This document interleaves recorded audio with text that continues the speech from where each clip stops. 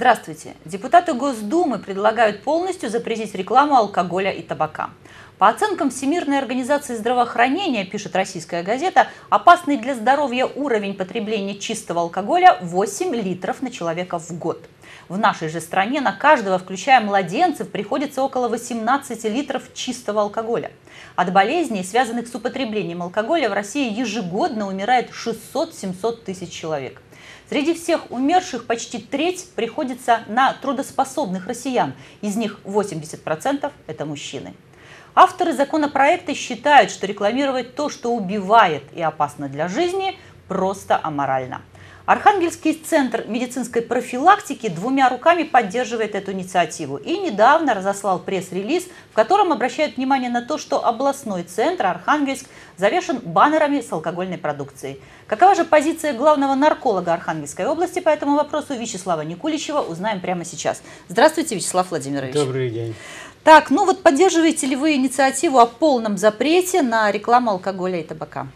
Мы должны сказать, что, безусловно, э, те сложные задачи, которые вы обозначили, а на самом деле алкоголь негативно влияет на очень многие стороны жизни, э, которые вы еще не перечислили. Угу. Это преступность, семья, дети.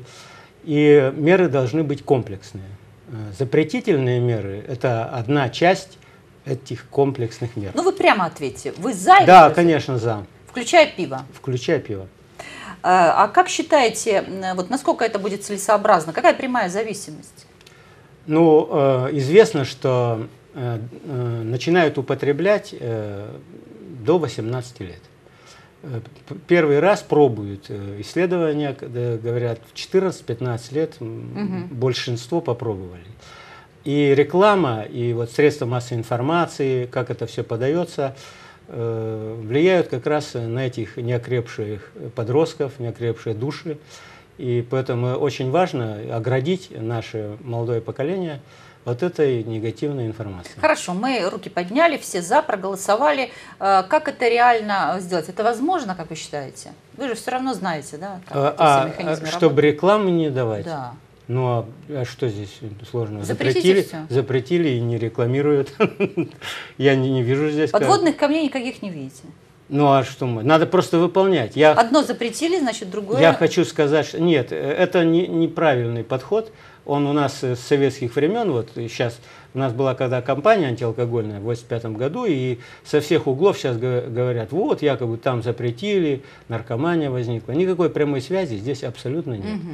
Поэтому э, люди выхватывают отдельные какие-то моменты и говорят об этом. А какая здесь связь? Так получается вообще жить очень сложно. Ничего нельзя запрещать тогда. Получается, одно запретишь, человек... Мы изначально тогда говорим о каком-то устремлении человека сделать чего-то вредное для себя. То есть, если ты одно запретишь, он все равно навред что-нибудь себе сделает какое-то саморазрушающее поведение тогда. Люди хотят разрушать свою жизнь. Нет, но ну здесь за, э, все-таки задействованы производители, да, в данном случае вот алкоголь, алкогольной продукции. Когда экономические моменты начинают обсуждать, то это самая поверхностная такая ситуация с этими, с налогами и со всем. А потом сколько затрат идет, сколько вреда от этого, сколько людей умирает, не, не рождаются дети. Может быть, нужно, чтобы ваш голос был, вот ваш, я имею в виду, медиков, э, наркологов, э, как-то более слышен? Здесь очень сложная проблема, и я думаю, что она требует как раз очень такой широкой дискуссии. Я как-то смотрел передачу по Первому каналу, главный нарколог Минздрава Брюн Евгений Алексеевич предложил Э, обследовать коллективы на угу. наличие э, хронического употребления алкоголя. Сейчас есть такие методики, и можно, в принципе, любой коллектив прийти и обследовать.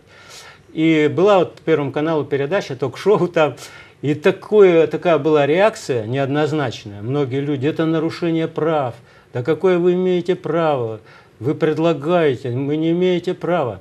Казалось бы, вот мы, если флюорографию проводим, для того, чтобы выявить заболевание, ни у кого же мысли не возникает. То есть мы сейчас говорим о том, что вообще какое сформировано отношение да. в обществе э, к питью, да, да к алкоголю. Конечно, да.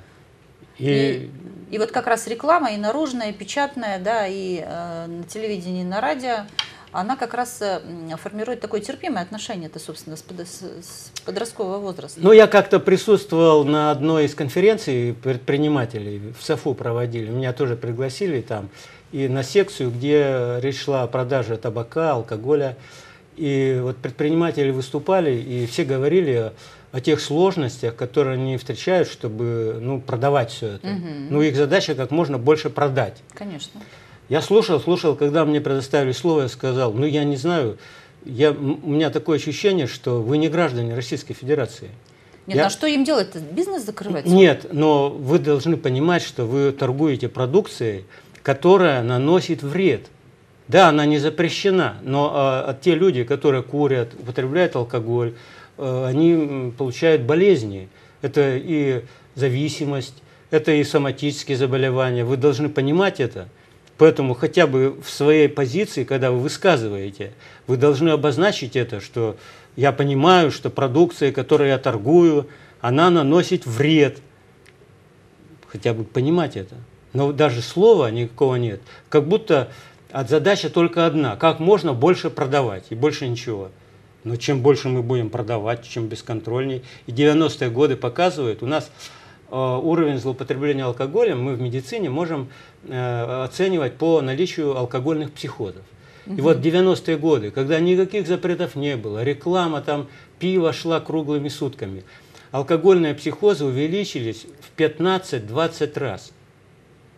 И сейчас, наоборот, они сокращаются. То есть, когда начали ограничительные меры вводить, начали какие-то мероприятия, мы видим, что уровень алкогольных психозов снижается. А, об одних психозах говорите. Вот, то есть вы э, напрямую э, ставите зависимость, у вас есть подтверждение, что в связи с Севраханской области да. Э, есть запрет на продажу алкоголя до определенного да, да, времени. Да. Здесь уже мы можем говорить об улучшении ситуации. Да, да, и уровень алкогольных психозов снижается. Это говорит о том, что люди меньше злоупотребляют алкоголем.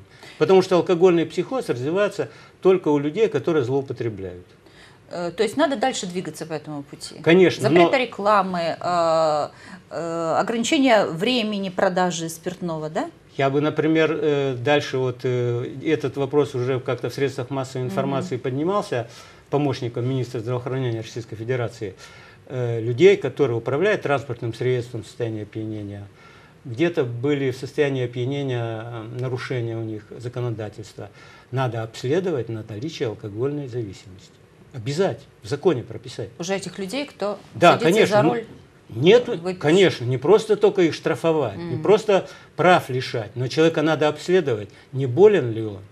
Ведь дело все в том, что больного человека не вылечить одним наказанием.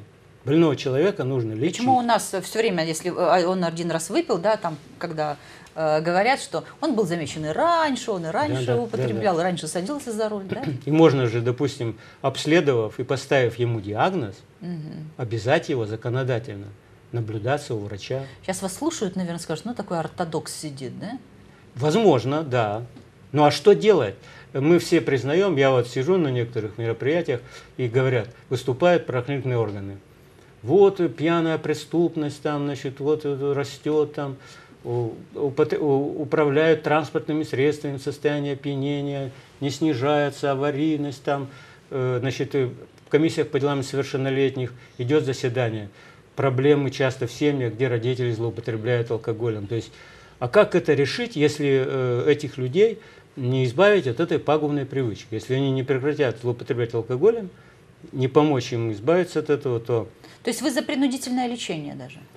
Э, мы можем э, говорить это по-разному. Когда мы говорим напрямую, это обостряются вопросы сразу, там, нарушение mm-hmm. прав человека, mm-hmm как-то э, раз на, одной, на одном из международных мероприятий, которое у нас проводилось, я, значит, юристу из Голландии задал вопрос. Вот если у вас человек злоупотребляет алкоголем, он никого не, ну, не избил, там никаких угу. не на, нарушений, просто пьет и мешает соседям, семье своей, только потому что он пьяный ходит где-то. Вы делаете что или не делаете? Они говорят, она говорит, обязательно делаем мы решаем вопрос о выселении его с квартиры. Угу. Я говорю, принуждение. Нет, это не Изолируют, то есть они его, да? Ну, они, нет, это у нас мешает. называют, мы назовем альтернатива. То есть человеку надо дать выбор. То есть ему надо предложить варианты поведения. То есть он, например, в пьяном виде ехал за рулем. Его задержали. Угу. И ему дается вариант. Оплачиваешь штраф, лишает тебя прав и проходишь обследование у врача-психиатра-нарколога. Так. Какое же там принудительное? А где, какая альтернатива? Вы о чем? Может, это он не делать. Ах, может не делать. Но ему тогда прав никогда не вернут. И я с а, этим ну встретился вот. в Германии. Мы еще в 2002 году, когда ездили в город Мемингем, там я обнаружил, что у них все это делается.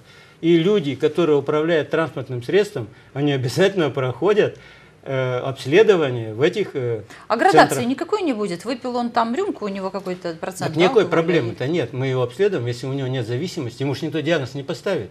И мы ему напишем, что вот он после здоров. этой справочки, да, или у тебя есть конечно. шансы получить права дальше, да, да или у тебя нет совсем никаких? Э, это и есть э, ну, профессиональный подход а не просто там, когда человек приходит, и мы смотрим, был он или не был. Это уж крайний вариант, когда человек вынужден обратиться Э, у него развилось психотическое расстройство, его увезли там на скорой куда-то, и он попал на учет.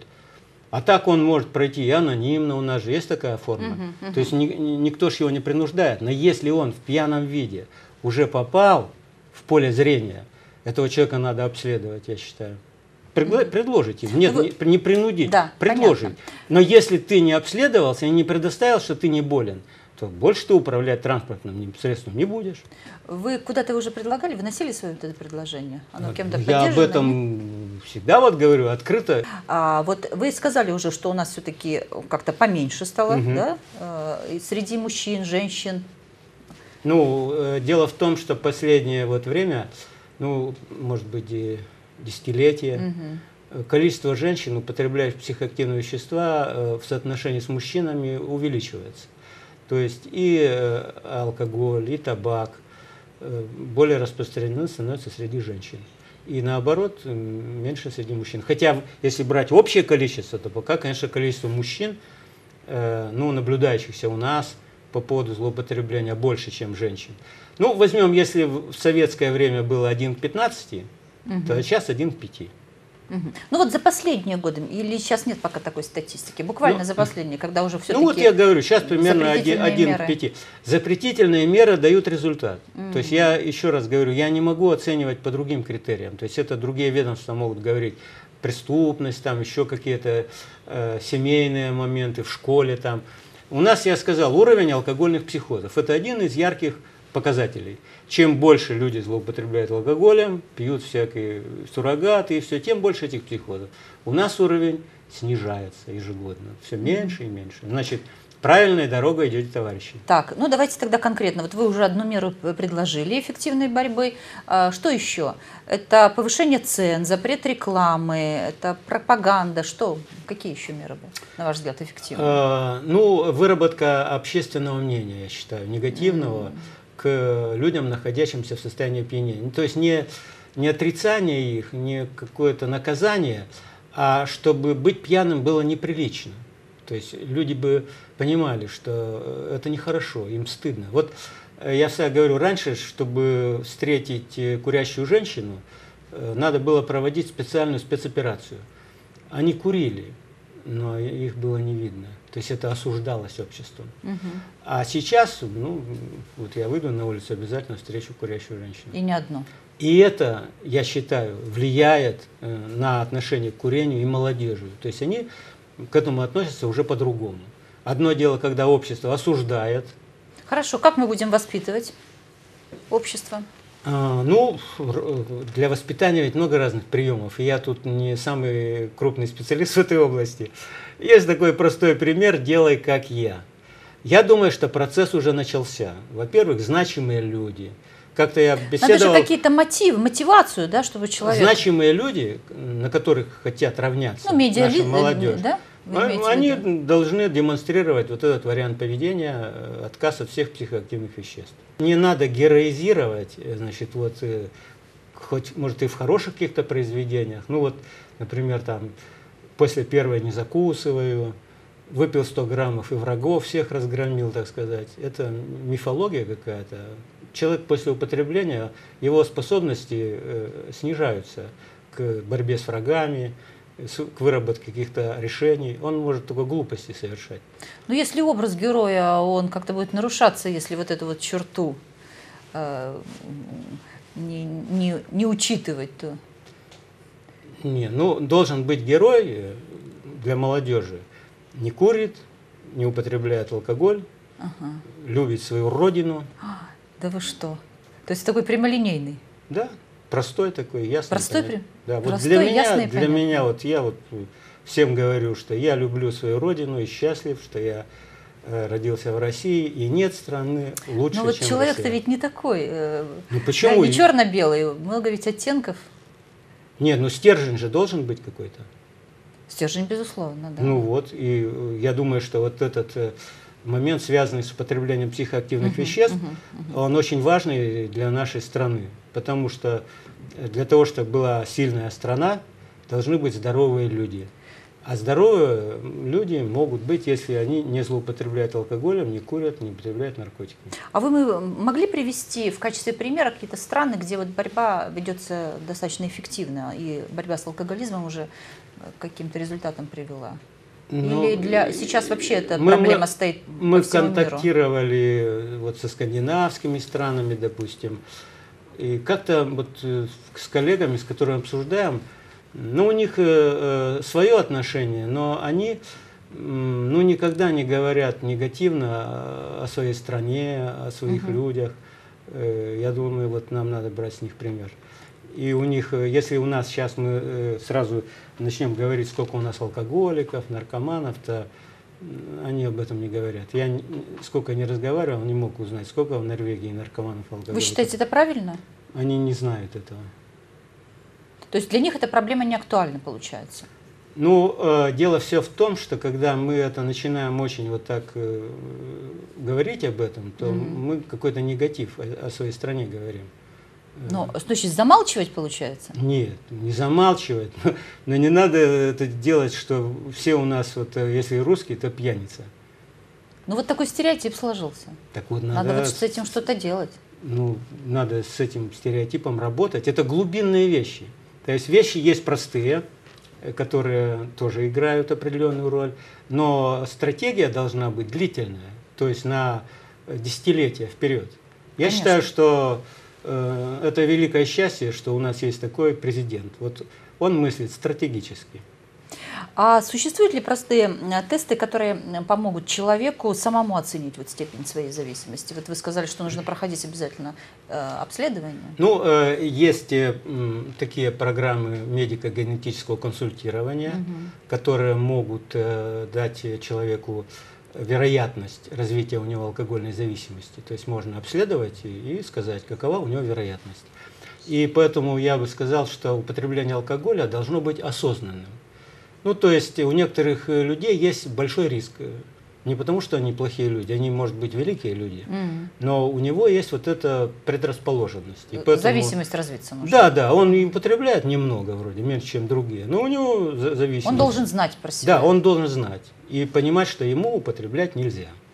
И отказ у нас должен быть не потому, что э, закодировался, а должен быть выбор у нас. У нас два должных выбора. Есть выбор алкогольный образ жизни есть безалкогольный. И они равнозначны. И вот э, для нашей молодежи это должно быть, что в принципе можно быть счастливым, не употребляя алкоголь совсем, не потому что ты алкоголик или там сектант какой-то или еще что-то.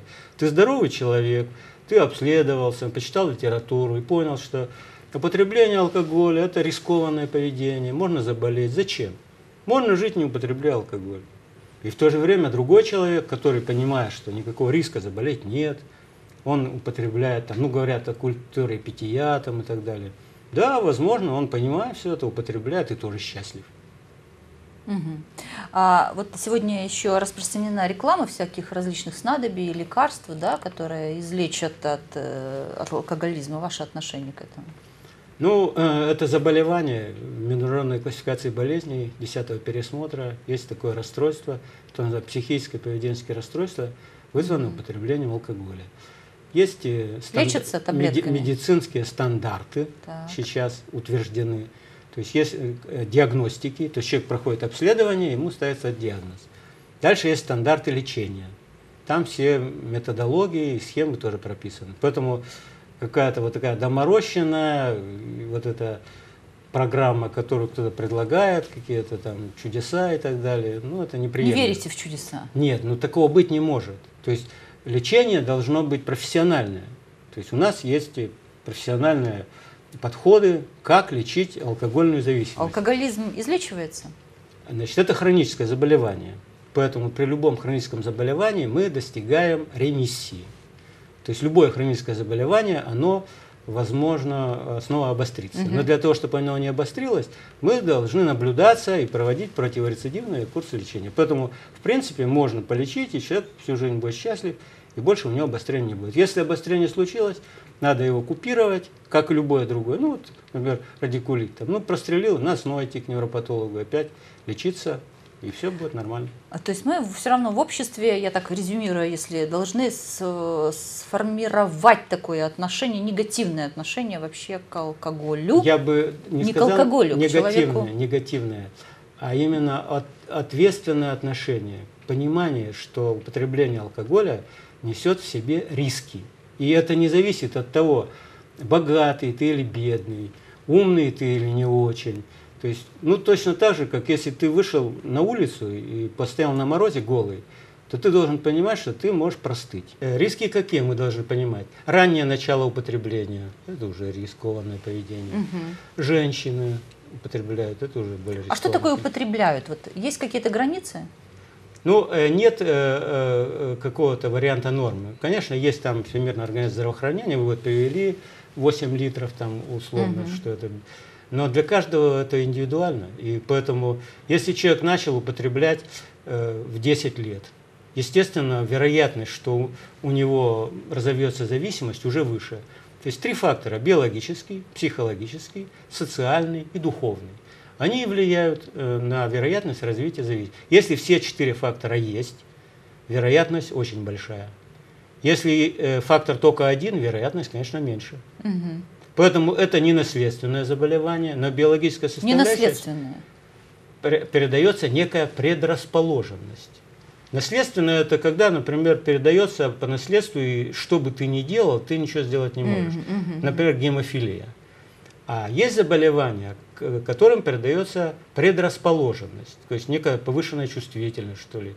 И вот э, то, что я говорил о кабинетах медико-генетического консультирования, они предназначены для того, чтобы человеку сказать, какова, каковы у него риски. То есть и человек должен тоже понимать, что неплохо бы знать про себя, да, какие-то Конечно. особенности. Это должно быть нормальным, прийти да. и проконсультироваться. Да, и эта информация, вот в школе, например, нужно рассказывать детям и родителям об этом. Вот я, например, хожу, я говорю, что ну вот есть и методы профилактики разные. Вот мы знаем, что для того, чтобы не заболеть кишечными инфекциями, надо мыть руки, да, надо да, овощи, да. фрукты мыть. Вот такое же мы говорим, для того, чтобы не заболеть алкоголизмом, надо понимать, что у каждого есть риск. Если вы их э, должны пройти это медико-генетическое консультирование, узнать этот свой риск и в соответствии с этим дальше принять решение. Или, несмотря на великий риск, продолжать поддерживать общие традиции, как принято, ходить на дни рождения, пить сколько нальют, э, не оставлять там зла на дне стакана, там, еще чего-то там – и, возможно, заболеете. Или все-таки предпринять какие-то действия конкретные, ограничить. Ведь и какие спиртные напитки употребляет человек, это тоже влияет. Известно, что крепкие напитки вызывают большую вероятность. Не обязательно, но это риск определенный. Угу. вина меньше.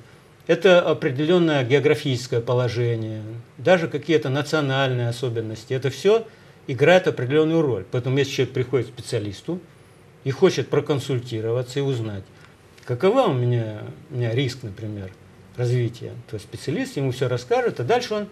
И тогда людей, злоупотребляющих алкоголем, страдающих алкогольной зависимостью, будет все меньше, меньше и меньше. Надо как-то все-таки аккумулироваться, усилить свои силы да, вот в этом направлении, э, в профилактике, в просвещении. Да, конечно, да. да. Потому что мы где-то, наверное, упустили вот этот момент. Да. Так вроде как само собой разумеющееся, то есть все должны понимать, что пить там, напиваться плохо, да? Да, конечно. Но а оказывается, не все. Социальный фактор, он играет роль.